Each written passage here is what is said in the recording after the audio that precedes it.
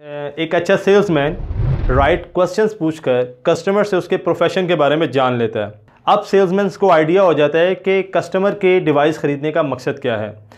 अगर कस्टमर एक marketing manager है तो उसको एक लार्ज स्क्रीन चाहिए होगी और एक हो सकता है स्टाइलस चाहिए हो, जिसके ज़रिए वो एड कैंपेन के रिज़ल्ट्स देख सके एड एजेंसी के साथ अपने डिज़ाइन शेयर कर सके। और कस्टमर अगर एक गेमर है, उसके लिए large battery size high resolution screen और ज़्यादा स्टोरेज ज़रूरी होगी।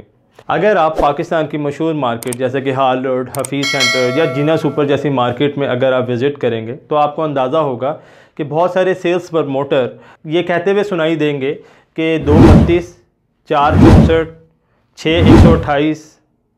तो बेसिकली जब वो ये बातें कर रहे होते हैं तो इसका मतलब है कि वो फ़ीचर्स कस्टमर को गिनवा रहे होते हैं।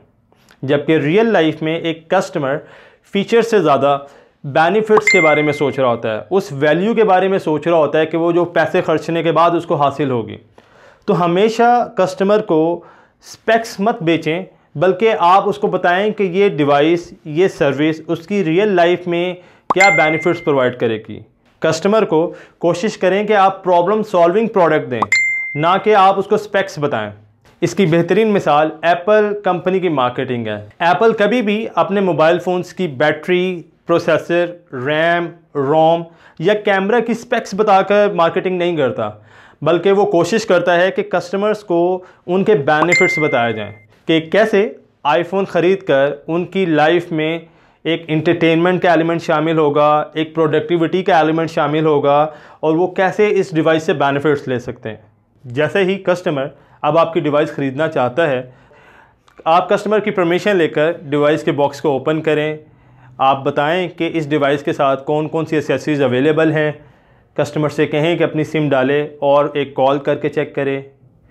कस्टमर को सर्विस सेंटर के बारे में बताएँ। जब आप ये सारी चीज़ें कस्टमर को बता चुकें तो अब चूँकि कस्टमर का आपके ऊपर एक ट्रस्ट मुकम्मल हो चुका है, इसी वजह से कस्टमर ने वो डिवाइस भी ख़रीद ली है।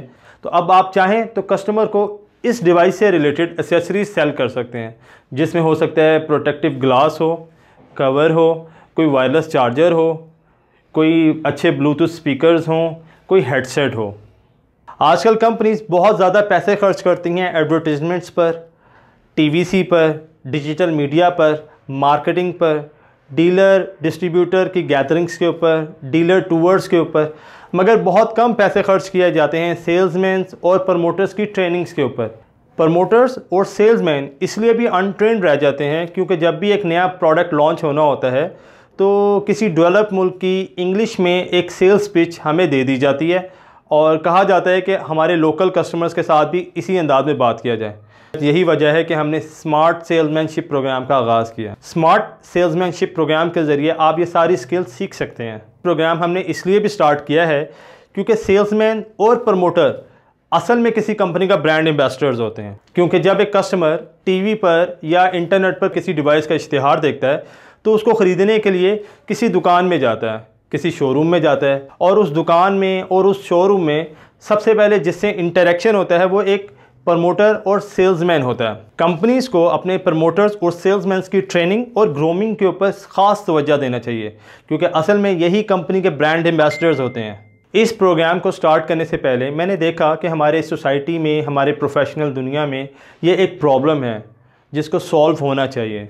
इसीलिए मैंने स्मार्ट सेलमैनशिप प्रोग्राम का आगाज़ किया। स्मार्ट सेलमैनशिप प्रोग्राम एक प्रॉब्लम सॉल्विंग प्रोडक्ट है। इस प्रोडक्ट को यूज़ करके आप सेल्समैन की तमाम स्किल्स और टेक्निक को सीख सकते हैं और एक जॉब हासिल कर सकते हैं। मुझे बहुत खुशी होगी अगर आप इस सीरीज़ को मुकम्मल देखें, हमारे टेस्ट को पास करें और एक सर्टिफिकेट हासिल करें। ये सर्टिफिकेट आपको हेल्प करेगा कि आप जॉब हासिल कर सकें। और ये सर्टिफिकेट वेरीफाइबल भी है। इस सर्टिफिकेट की कोई फ़ीस नहीं है, ये फ्री ऑफ़ कॉस्ट है, मगर सेल्स और मार्केटिंग ये स्किल्स सीखने के लिए आपको अपना टाइम इन्वेस्ट करना पड़ेगा। स्मार्ट सेलमैनशिप प्रोग्राम में जो टेक्निक्स और जो मेथड्स बताए गए हैं, इनके ऊपर मज़ीद बात हो सकती है, घंटों बात हो सकती है, क्योंकि ये बहुत वास्ट टॉपिक है। मगर इन वीडियोस में मेरी कोशिश होती है कि मैं टू द पॉइंट आपसे बात करूँ और आपको मैक्सिमम इन्फॉर्मेशन फ्राहम कर सकूँ। ये वो इन्फॉर्मेशन होती है जिसको आप इस्तेमाल करके जॉब हासिल कर सकते हैं अच्छा सेल्समैन बन सकते हैं, किसी गाड़ियों के शोरूम में सेल्समैन बन सकते हैं, किसी मोबाइल शॉप में सेल्समैन बन सकते हैं और अपनी लाइफ में भी इन स्किल्स को यूज़ कर सकते हैं। उम्मीद है आपको आज का प्रोग्राम पसंद आएगा। थैंक यू वेरी मच अल्लाह हाफिज़।